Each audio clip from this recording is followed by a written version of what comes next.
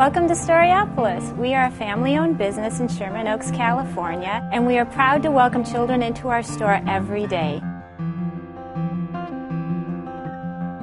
We have books that appeal to children from zero till about 10 years old. And we also have an art gallery that is home to over 140 artists. We love to bring authors and illustrators into the store so that the children can experience the books in another way. It really excites the children and makes it cool to read. It's an extraordinarily special store, and I'm very proud to have my books sold at this store.